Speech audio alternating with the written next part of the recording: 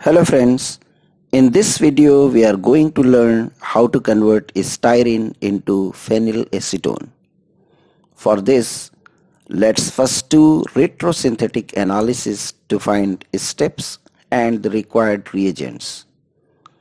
Phenylacetone has a keto group that can be obtained from the corresponding alcohol via functional group interconversion FGI by oxidation. Cleavage of this CC bond suggests that the alcohol can be obtained by the reaction between phenyl acetaldehyde and methyl magnesium bromide. The aldehyde can be obtained from the phenyl ethyl alcohol, which in turn can be obtained by the hydroboration oxidation of styrene.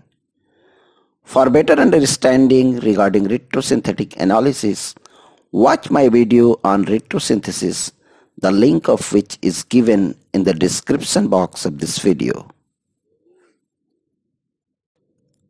Now come to the synthesis.